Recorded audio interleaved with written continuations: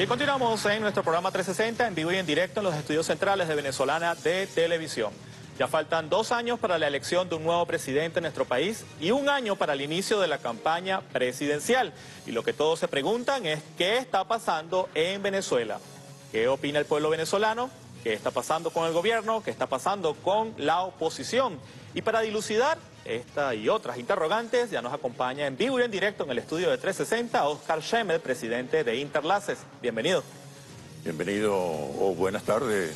Boris, ¿cómo estás? Felicidades, felicitaciones por el Premio Nacional de Periodismo. Muy merecido realmente. Bueno, y felicidades a usted también porque se ganó un diploma también, ¿no? Sí, sí, una mención especial. Señor Schemmel, ilústrenos un poco de la ficha técnica del estudio que usted va a presentar el día de hoy en nuestro programa. Sí, este es el monitor país Interlaces correspondiente al mes de junio del 2022. Es una, es una encuesta nacional por muestreo, respetando las cuotas de edad, sexo, eh, poblacional, nivel socioeconómico, nivel educativo. Entonces se, arma la muestra, una muestra representativa de la sociedad venezolana. Son 1.200 entrevistas en todo el país. ¿Cuánto fue el trabajo de campo? Encuestas directas, encuestas directas en hogares. El trabajo de campo se inicia alrededor del 14 de junio y dura aproximadamente 8 días, 9 días. sobre todo porque es una muestra nacional, realmente nacional. ¿Qué nivel de confiabilidad y de certeza tienen los resultados que usted nos va a presentar? Sí, el margen de error es solo el 3%, con un nivel de confiabilidad del 95%. Bueno, sin más preámbulos, le vamos a solicitar muy amablemente a nuestro equipo de producción que coloquemos la pantalla en 7030 para comenzar a presentar a ustedes las láminas del estudio Monitor País de Oscar Schemmel. Y acá en la pantalla de atrás que me coloquen las láminas para que el profesor las pueda ir leyendo. Vamos a comenzar entonces. Eh, uno de los capítulos de esta encuesta de, de, Monitor País, del Monitor País de junio del 2022, eh, trata sobre la nueva aplicación o la nueva plataforma digital que implementó el Ejecutivo Nacional para recibir denuncias y demandas de la población venezolana.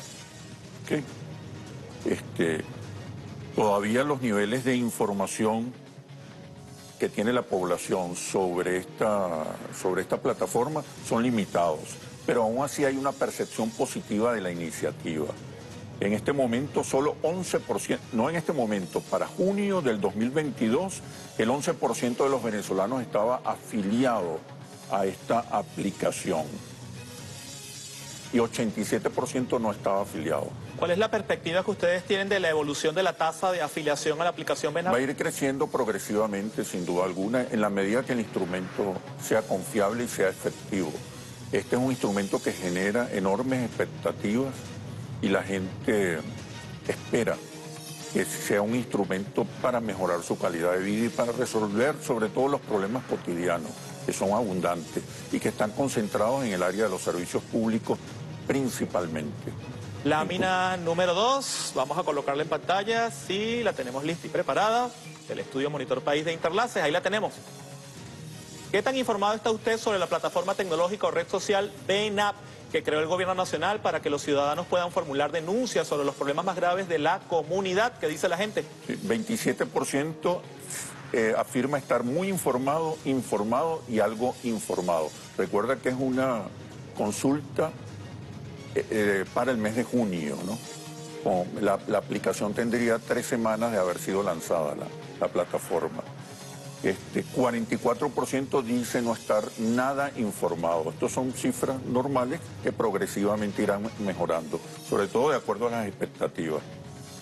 Seguimos con la tercera lámina del estudio Monitor País de Interlaces del mes de junio. Cuando la tengamos lista, la vamos a colocar para conocer los resultados. Fíjate que a pesar del, del desconocimiento que hay de la reducida afiliación todavía, el 62% piensa que esta plataforma digital será muy efectiva, efectiva y algo efectiva.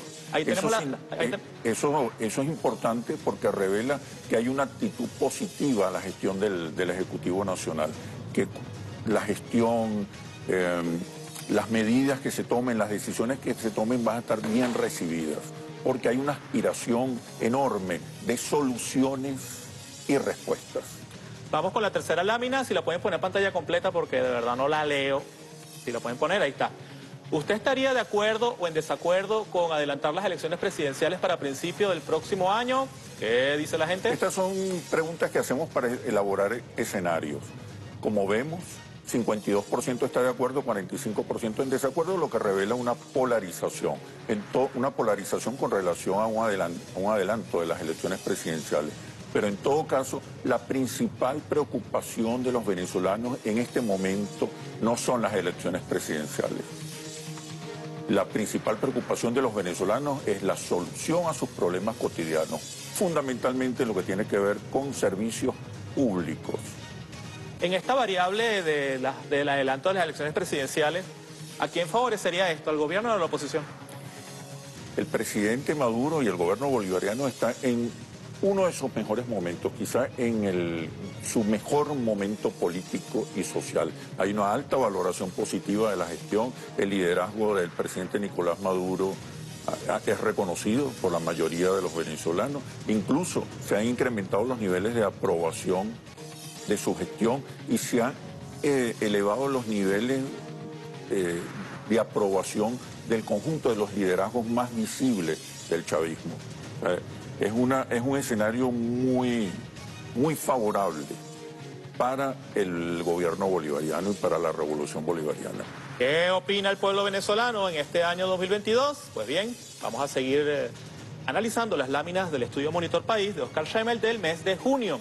Si el próximo domingo fueran las reelecciones presidenciales y los candidatos fueran Nicolás Maduro y cualquier candidato de la oposición, ¿por quién votaría usted, Oscar Schemmel? 49% votaría por Nicolás Maduro en este escenario polarizado entre el presidente Maduro y cualquier candidato de oposición que recibe solo 33% de respaldo. Como te decía antes, estas son preguntas para armar escenarios. Lo que, lo que podemos destacar es que hay un 33% de base sólida electoral para la oposición sobre todo porque la oposición, así como Nicolás Maduro y el gobierno bolivariano están en su mejor momento, la oposición atraviesa el peor momento en toda su historia. Muy dividida, sin liderazgo, sin oferta, sin discurso crítico, desvinculada de las demandas y aspiraciones de los venezolanos, sin relato, sin discurso, sin propuesta. Próxima lámina del estudio Monitor País de Interlaces del mes de junio. Si el próximo domingo se realizará una elección presidencial, los candidatos fueran Nicolás Maduro y un independiente, ¿por quién votaría usted? Como te digo, son preguntas para elaborar escenario. Aquí quisimos medir un poco la fuerza, la capacidad de convocatoria que pudiera tener una, candidatura independiente. En este escenario vuelve a ganar el presidente Maduro como eh, eh, vuelve a ganar la, presidencia de la República, vuelve a ser electo.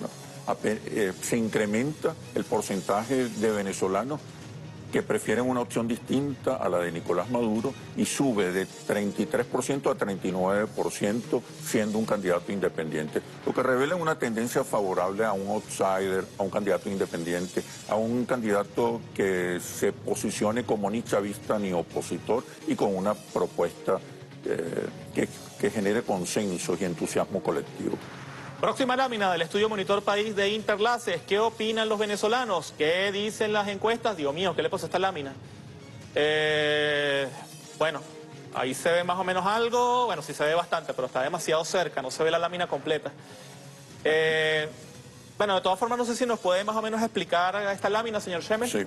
Mira, aquí este es el capítulo sobre la situación económica del país. No, creo que estas de presidenciales.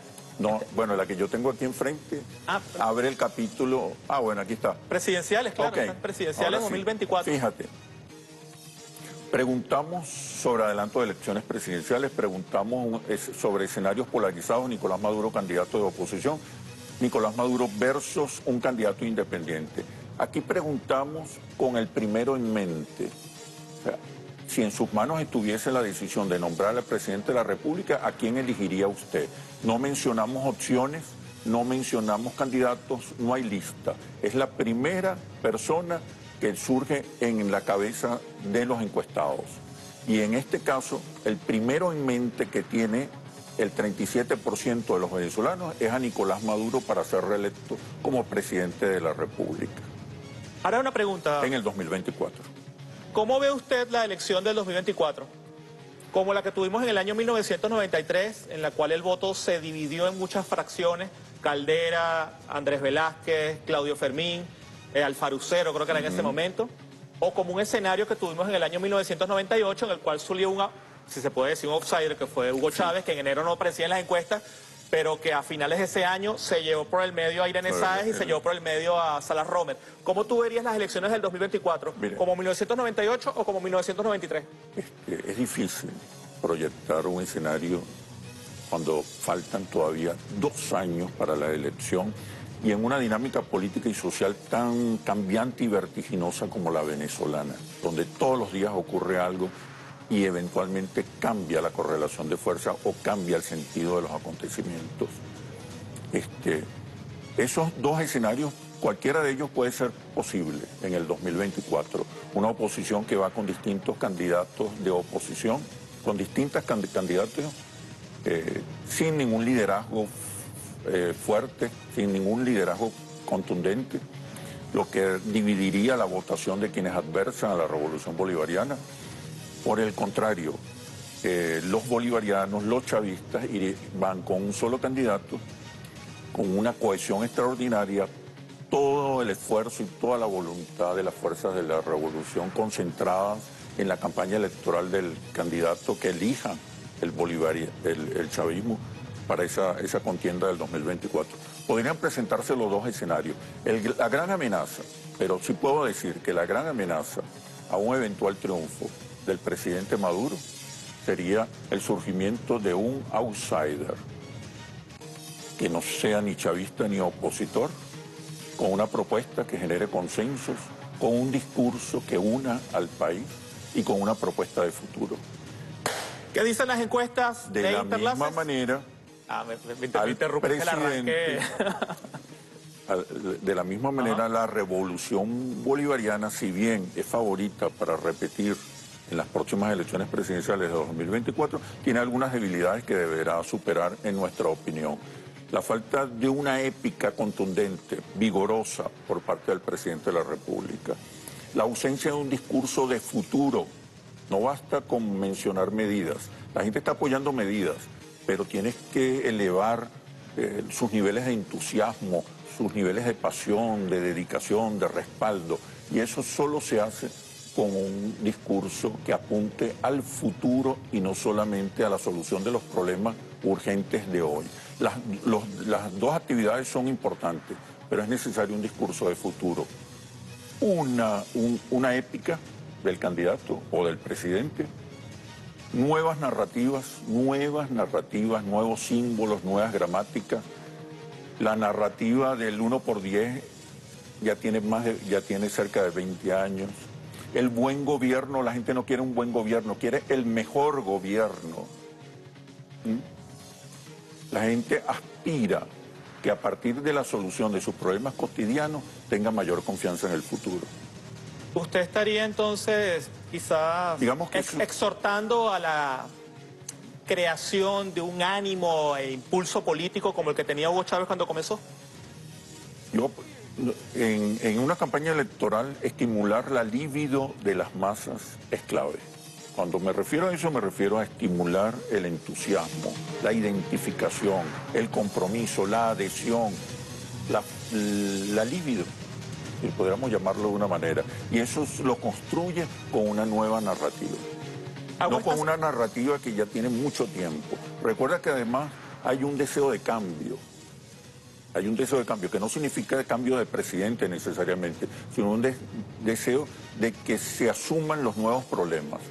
La justicia social, la justicia social, la igualdad, el respeto, la inclusión, fueron banderas muy poderosas hace 10 años.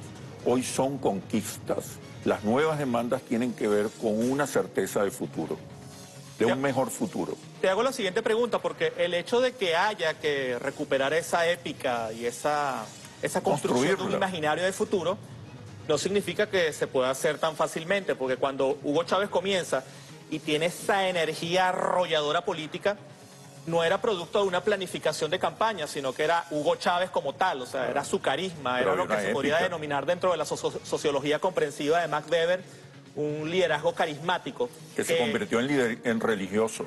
Claro, pero ahora la pregunta que yo hago es la siguiente. En una devoción. Lo que usted plantea es diferente, ya no sería el carisma natural del líder, sino la construcción de una imagen y de una proyección y de un imaginario. ¿Es eso posible? ¿Construir esa energía? El, el presidente Maduro tiene una épica ya. Lo que hay que traducirla en símbolos y relatos que no se ha hecho. Superbigote no es suficiente para construir una épica. ¿Qué sería suficiente? Las, victorias del presidente. El presidente se ha enfrentado a una oligarquía rancia sin sensibilidad. Se ha enfrentado al imperialismo norteamericano, se ha enfrentado a intentos de magnicidio, se ha enfrentado a, tentativas de derrocamiento durante prácticamente toda su gestión en los últimos cerca de 10 años. Ahí tú puedes construir una épica, una hazaña que, que, le permita al presidente fortalecer su liderazgo. El liderazgo del presidente no puede basarse solo en la gestión, en la gestión de los problemas cotidianos. Tiene que basarse también en una oferta de futuro y en generar las cualidades que permitan convocar y entusiasmar y, y movilizar a la mayoría de los venezolanos. Hoy está de primero, pero porque no tiene adversario. Del lado de la oposición, como vamos a ver en las próximas láminas, láminas hay una, una nada. No, existe ninguna, ninguna fortaleza. Están divididos sin propuesta, sin símbolo, sin emocionalidad. No están sintonizados con el clamor de las mayorías. Divididos, desacreditados, pulverizados. Señor Schemmel, eh, vamos a seguir porque quedan bastantes láminas. Próxima lámina del estudio Monitor País de Interlaces, si la tienen vamos a colocarlas para irlas procesando. Ranking de los dirigentes de la oposición. Creo que aquí más de uno no le va a caer muy bien lo que usted tiene que decir, señor. Más, ocho de cada diez venezolanos tienen una opinión desfavorable, tienen una opinión negativa de los líderes más importantes o de los líderes visibles o de los líderes tradicionales de la oposición. Juan Guaidó, Julio Borges, Leopoldo López, Enrique Capriles, Henry Ramos Ayud aparecen como los líderes de oposición más impopulares, que generan mayor rechazo en la población. 85%. Bueno, pero creo que en, esta, en este estudio hay una variación, ¿no? Porque en el último Guaidó estaba de segundo, ahora está de primero, como el, el dirigente político más impopular. Es importante aclarar con el tema de la lámina que el color verde significa el nivel de rechazo. No vayan a pensar que el 85% verde es de que la gente los quiere mucho. Vamos a colocar la lámina otra vez, por favor, para seguirla analizando, si es posible. Señor Schemmel, le escucho. Ranking de los dirigentes de la oposición. Lo que está en rojo es los porcentajes favorables. Tenemos a un Guaidó con apenas 8% de, de opinión favorable, Julio Borges con 8% de opinión favorable y así sucesivamente. Henry Ramos Ayud, uno de los políticos más impopulares, con apenas 9% de opinión favorable y 82% de opinión desfavorable. Vamos a la siguiente. Esto es una lámina que revela un cementerio político. Un cementerio político definitivo. Estos son ya líderes que perdieron su oportunidad. Eh, vamos a seguir con la próxima lámina de Monitor País. Ya creo que estamos entrando en el área económica. ¿Cómo calificaría usted la actual situación económica de Venezuela? ¿Usted diría que es muy buena, buena, regular a buena, regular a mala, mala o muy mala? ¿Qué dice la gente? 54%. 54% de los venezolanos califican como muy buena, buena y regular a buena la situación económica. Es un porcentaje bien importante, muy contundente, que revela un respaldo mayor una evaluación positiva de la gestión del presidente Maduro en el terreno económico. Ahora, la tasa de variación ha bajado, ha subido, ¿cuál se es la ha incrementado, se ha venido incrementando. Por favor. Venimos de porcentajes eh, de alrededor del 30% de valoración positiva, de, sí, de percepción positiva de la situación económica del país en, el último año se ha venido progresivamente incrementando. Eso revela que las políticas económicas del gobierno están dando resultados, están generando eh, niveles de satisfacción importantes. No, hay que, no hay que descartar, no hay que obviar que venimos del foso y cualquier mejora, cualquier medida, cualquier mejora eh, es valorada positivamente. Venimos de una época que no, había que comer, el desabastecimiento era muy grave, la inflación era terrible. Próxima lámina del estudio Monitor País de Interlaces y dice, y si hablamos específicamente de su actual situación económica personal y familiar, ¿usted diría que es muy buena, buena, regular a buena, regular a mala, mala o muy mala? ¿Qué dice la gente? Aquí sube ocho puntos la percepción positiva de la situación económica. ¿Con relación a qué tiempo? Con relación a la situación económica del país. Eh, aquí le preguntamos a la gente sobre su situación económica personal y familiar y está por encima de la percepción positiva de la situación económica del país. Aquí 62% de los venezolanos consideran muy buena, buena y regular a buena su, propia situación, su situación económica personal. o sea, que las acciones económicas que está tomando el presidente Maduro han tenido su efecto en los niveles de popularidad. Sí, sí. Evidentemente, hay una mejora. Yo creo que es innegable que hay una mejora para la mayoría de los venezolanos desde el punto de vista de su economía.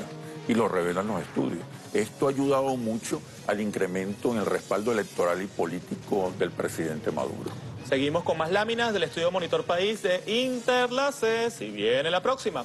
¿Usted diría que últimamente la situación económica del país está mejorando, está empeorando, sigue igual de bien o diría que sigue igual de mal? ¿Qué responde la gente? 59% del país dice que, la situación económica está mejorando.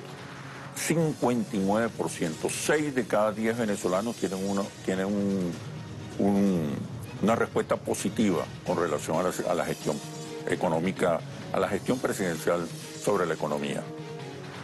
Apenas 5% dice que está empeorando, apenas 5% dice que está empeorando, pero 30% opina que la situación económica del país está igual de mal.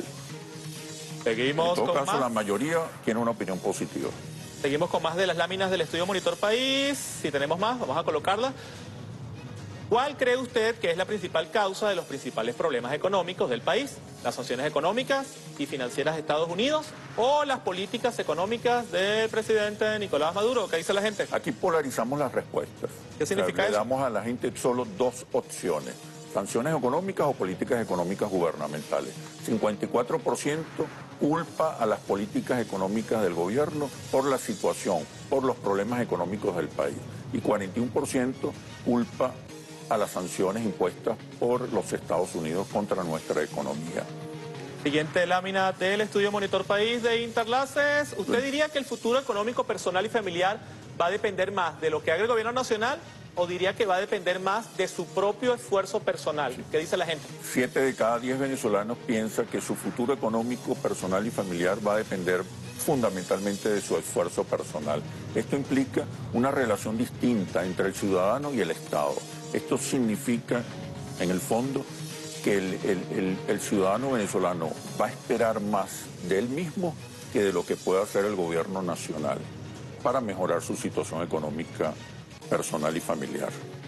Si tenemos más láminas del estudio Monitor País. Yo quiero destacar que, eh, no obstante, hay una valoración positiva de la gestión del presidente, también hay una mm, percepción crítica con relación a la gestión. Es decir, la gente aspira más, la gente quiere un presidente que haga más, la gente espera más de la gestión.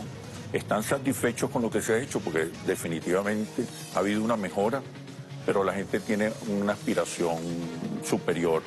Por eso la necesidad de repotenciar el liderazgo del presidente Maduro con una épica contundente y de agregar a la gestión presidencial una oferta de futuro que estimule el entusiasmo de la gente, la adhesión de la gente.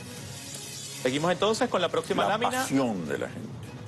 Usted es un tema, ¿no? Porque usted se queda callado, entonces yo, ya terminó. Y cuando estoy hablando, usted dice la pasión de la gente. Vamos a seguir con la próxima lámina del estudio Monitor País. Ajá. ¿Usted confía o no confía en que el presidente Maduro pueda resolver, aunque sea en parte, los actuales problemas económicos del país durante el año 2022? ¿Qué dice la gente?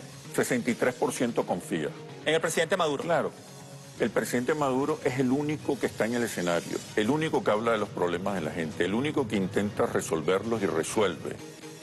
Del otro lado, no hay liderazgo, no hay adversario, no hay contrincante y lo peor, no hay ni siquiera un discurso crítico de la gestión. El presidente está absolutamente solo, sin críticos por, del lado de la oposición. La oposición es una desoladora nada, sin presencia real en la vida cotidiana de la gente. ¿Quedan más láminas? Si quedan, vamos a colocarlas. ¿Usted confía o no confía? Esta está buena, esta, lámina, esta pregunta está muy buena, yo. ¿Usted confía o no confía en que un gobierno de oposición pueda resolver los actuales problemas económicos del país? 70% no confía. 70%, 7 de cada 10 venezolanos no confía en que este liderazgo opositor pueda contribuir a resolver los problemas del país si llegase a ser gobierno. Eso revela una vez más el estado desolador en que se encuentra la oposición. No solamente sin líderes, sin conexión con la gente, sino sin propuesta y sin respaldo. Si de repente ocurriera un acto de magia, eso de la magia de la televisión y se aparece... De la magia de la política que la hay. bueno, pero vamos a decir la magia de la televisión porque estamos en un programa de televisión. Pero de repente se aparece Juan Guaidó abrazado con Leopoldo López y abrazado con Timoteo Zambrano y abrazado con José Brito y abrazado con María Corina Machado, todos abrazados aquí, te dicen, mira, Cheme, tienes razón, lo que tú has dicho de nosotros es verdad. ¿Qué nos recomendarías tú para salir de este foso donde estamos? ¿Qué le dirías tú? Sí, eh, yo creo que es un liderazgo ya desgastado, un liderazgo que no entusiasma. ¿No se puede recuperar? Y no, con estas cifras es irrecuperable. Apenas un alrededor de un 30% pudiera votar por alguno de ellos, porque es un voto es el voto neurótico de la oposición, es el voto hacia cualquier cosa, con tal que no sea el chavismo. Y podría estar cercano al 30%. Pero la gran posibilidad para la oposición o para quienes adversan al gobierno bolivariano es la, el surgimiento de un outsider. Seguimos con más láminas. Como ocurrió en el 1998. que tú me preguntabas. ¿Cómo que lo hace a propósito, señor Schemmel? Entonces queda callado, no sé cuando yo habla. Este, señor Schemmel, vamos a seguir con la siguiente lámina porque nos queda muy poco tiempo. Disculpen mi premura, pero es que quiero que todas las láminas salgan.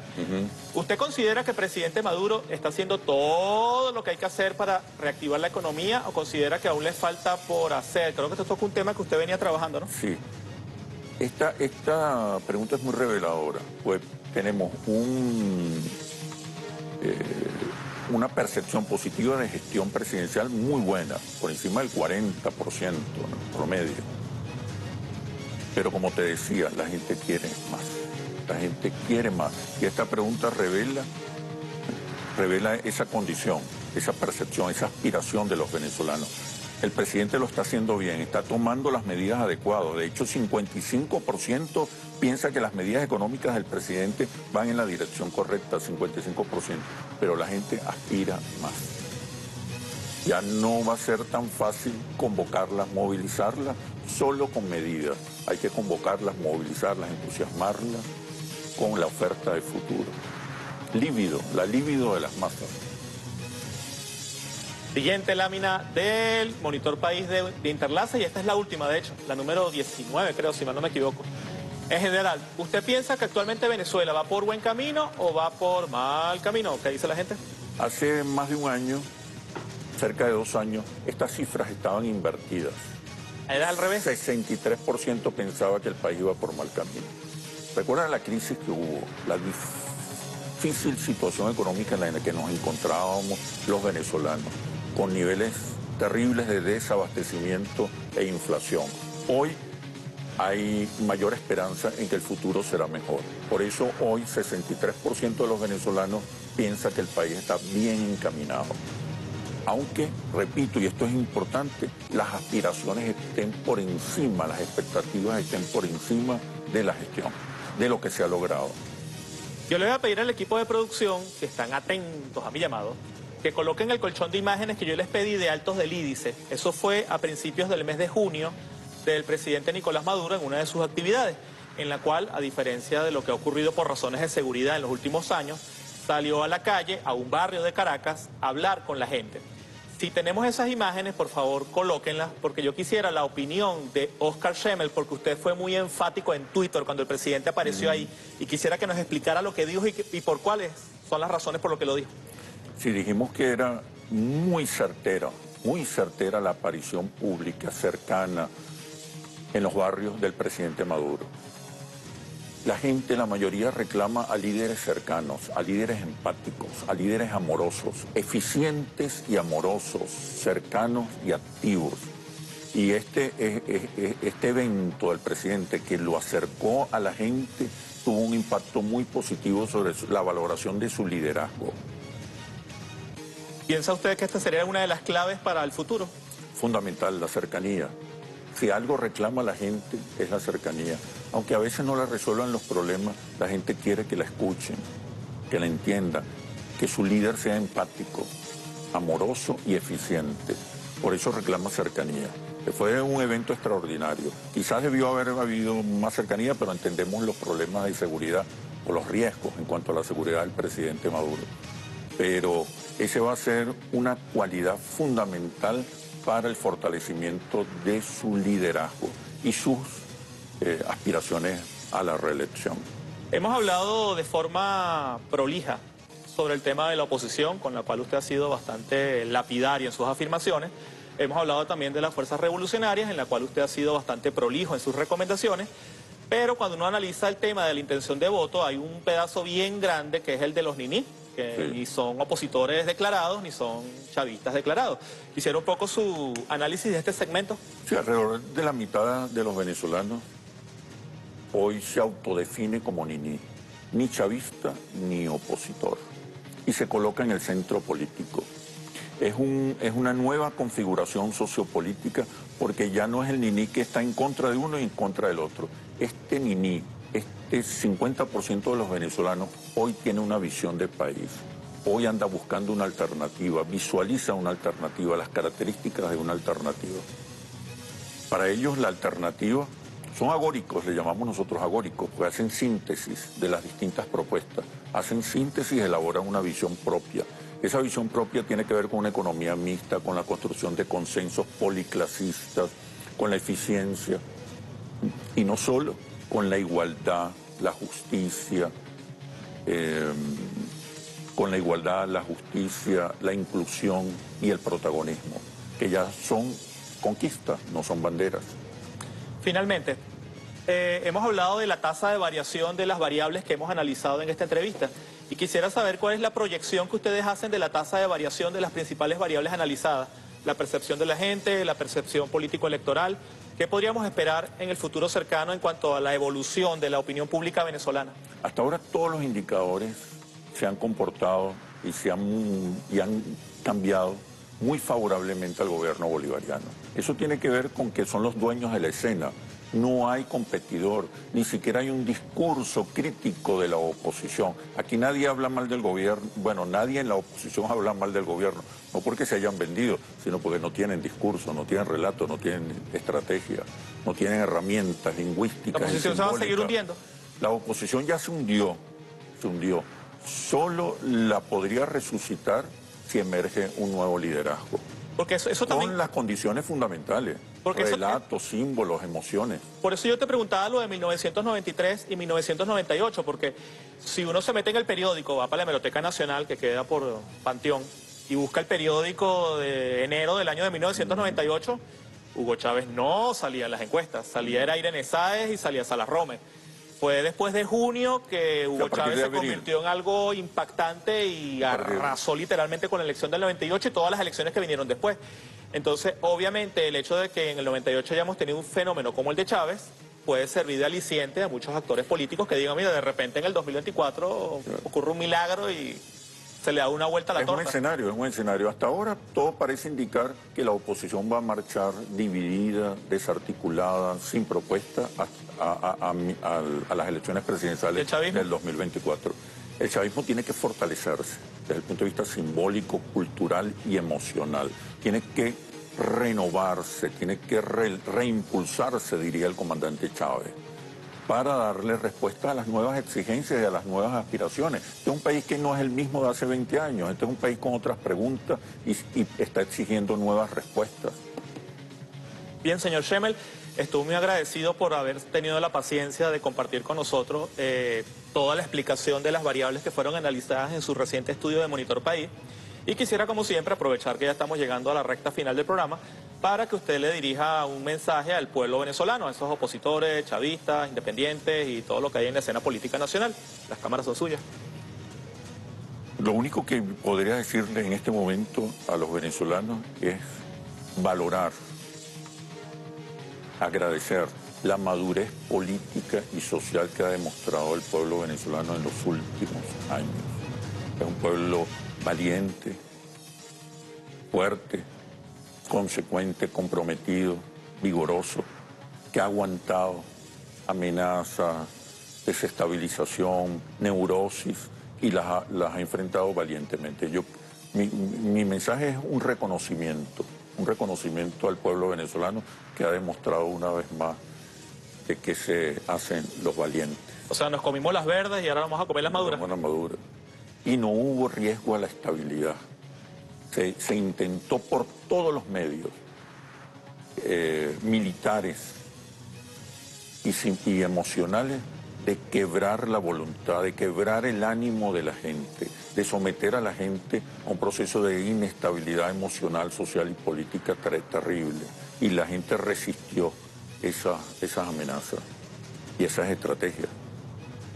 Bien, ustedes lo escucharon a Oscar Schemer, presidente de Interlaces, que muy amablemente y de forma bastante prolija nos ha ofrecido los detalles de su reciente estudio Monitor País de la empresa Interlaces. Agradecidos por su participación y también a todos ustedes que muy amablemente nos han sintonizado en nuestro programa 360.